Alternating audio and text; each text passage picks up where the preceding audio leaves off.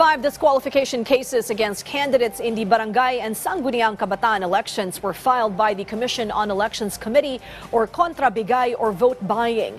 The poll body stated the respondents to the said cases were allegedly caught in the act engaging in vote buying. In fact, COMELEC added some of the respondents already violated the Omnibus Election Code immediately after filing their certificates of candidacy.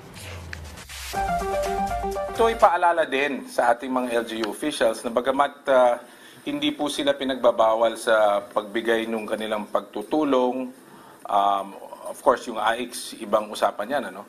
Pero kapag gawin ho nila yung ah, kanilang pamimigay ng tulong na ganyan, wag, wag ho sanang isama itong mga kandidato for the barangay and SK elections. Kasi um, yung mga barangay and SK candidates, makakasuhan ho namin yan ng disqualification.